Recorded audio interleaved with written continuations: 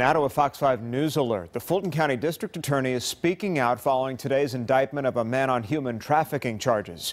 The grand jury's decision comes just one day after a judge threw out those very same charges against Kenndric Roberts.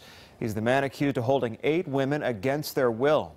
Fox 5's Patty Pan just stepped out of the district attorney's news conference. Patty, what did he have to say?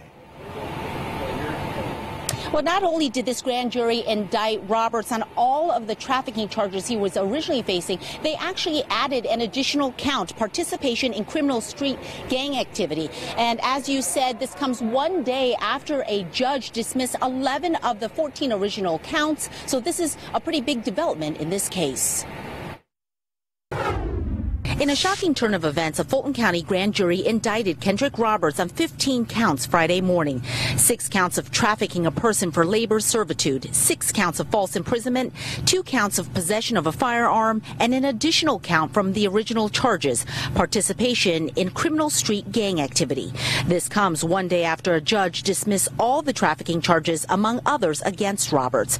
Authorities arrested the 33-year-old man in early March after receiving a 911 call from from a woman saying her boss threatened to kill her if she left. Later, authorities say they learned Roberts forced the women to dance at local strip clubs and the money would go to him.